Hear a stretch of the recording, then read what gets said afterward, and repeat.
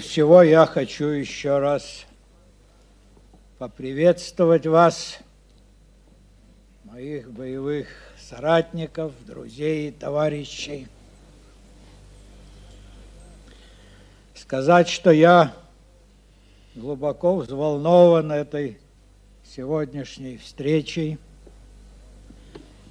и она будет многие воспоминания – о тех грозных днях Великой Отечественной войны, в которой каждый из вас внес свой большой ратный труд. В эти дни мы вспоминаем и всех тех, кто не может принять участие уже в таких встречах с ветеранами, кто отдал свои жизни за победу, за торжество? Идей, которые воспитала в советском народе наша коммунистическая партия. И давайте мы почтим вставанием память тех, кто отдал свои жизни за защиту нашей Родины.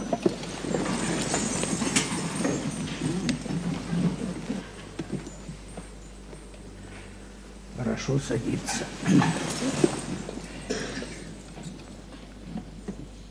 Вспоминая эти трудные, тяжелые, но героические дни. Мы, конечно, обращаем свою память к тем, кто защищал Одессу, город-герой, к замечательным защитникам Севастополя, к участникам многих сражений – на море, на суше, в воздухе. Мы вспоминаем и героические дни обороны Керчи и Новороссийска, также городов-героев.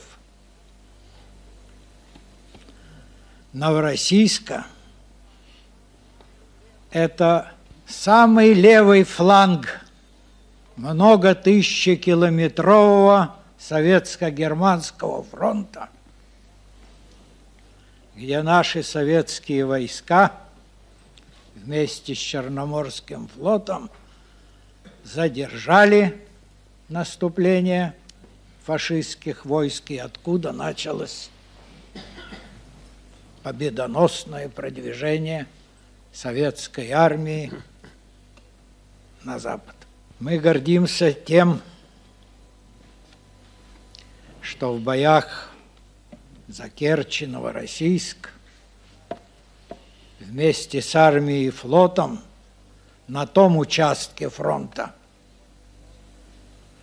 сражался и Леонид Ильич Брежнев, наш нынешний верховный главнокомандующий.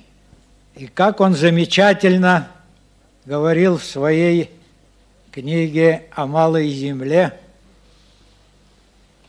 говорил о моряках, о воинах в бескозырке, в тельняшке, стойко стоявших в обороне и проявлявших дерзость в наступлении.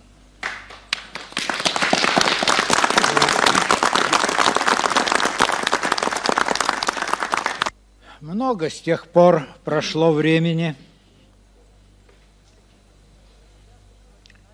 Но мы и сейчас вспоминаем, как тогда мы с вами в самые трудные дни мечтали о днях победы, верили в эту победу и мечтали о том, какой прекрасной после победы будет наша Родина.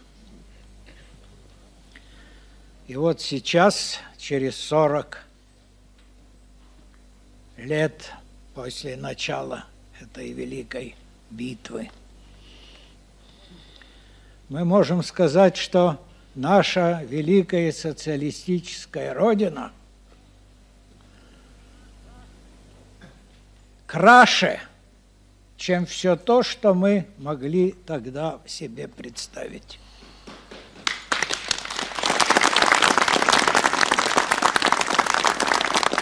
И в то же время мы, гордясь достижениями нашего советского народа, не можем забывать о том сложном и тревожном времени, в котором мы с вами живем. Я хочу привести слова Леонида Ильича Брежнева, которые он высказал вот на только что прошедшей пятой сессии Верховного Совета. Он говорил, что сегодня положение дел в мире требует новых дополнительных усилий, чтобы устранить угрозу войны, укрепить международную безопасность, отстоять мир, нет сейчас более важной задачи в международном плане – для нашей партии, нашего народа, да и для всех народов планеты.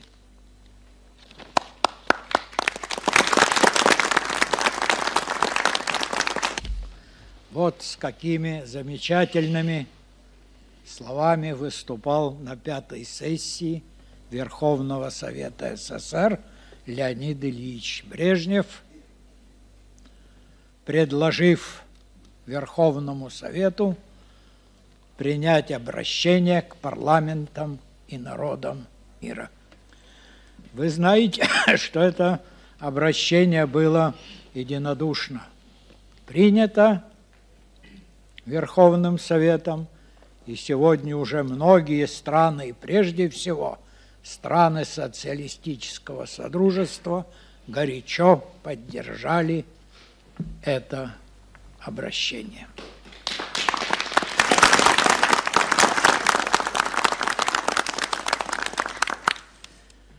В этой обстановке перед вооруженными силами нашей страны, перед армией, флотом,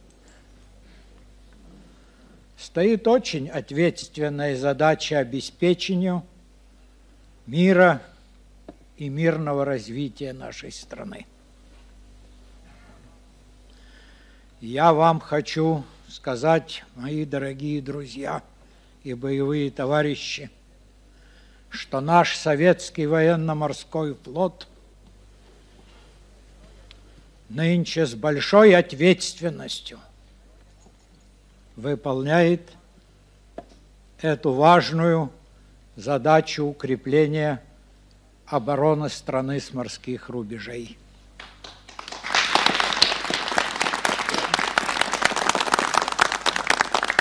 Наш флот располагает сейчас самыми совершенными видами морского вооружения, но самым главным,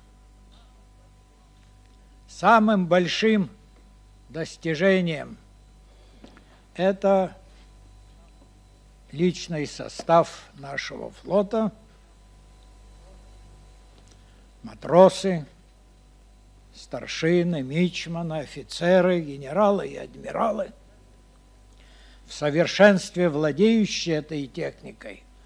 И вы, наши замечательные герои-ветераны, можете быть уверенными, что нынешняя молодежь флота, ее матросы и командиры будут также самоотверженно защищать безопасность и честь нашей Родины, как это делали советские люди в годы Великой Отечественной войны. Я хочу вам пожелать еще много лет жизни, такой же бодрости, которая видна у вас на ваших лицах, и чтобы мы еще могли с вами не раз вспоминать находясь под мирным небом нашей